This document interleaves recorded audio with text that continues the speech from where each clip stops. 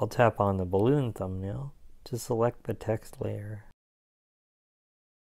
When we tap on animation, you have three different animation settings in, overall, and out. In refers to what happens when the text first appears on the screen.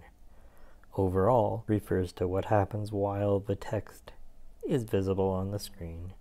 And out, you guessed it, refers to when the text disappears off the screen at the end of the clip. We'll start with in. I'll tap on in, and you have many different animation options.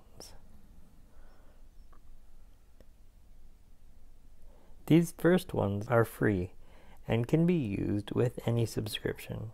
However, the last few, in order to use these, you need to have a paid subscription. You can try them out without a paid subscription, but when you go to export your clip, you'll be prompted to pay for the upgrade at that time in order to export your video. To choose an animation, tap I like scale. You can increase or decrease the length of time the animation takes to come in or out using this slider. I'll leave it like it is and go back to the, the animation options one more time. And I'm going to tap on out. I'm going to choose the same animation.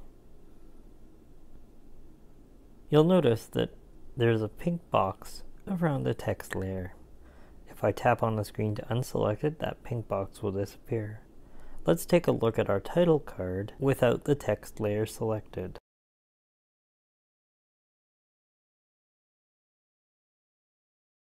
This looks great.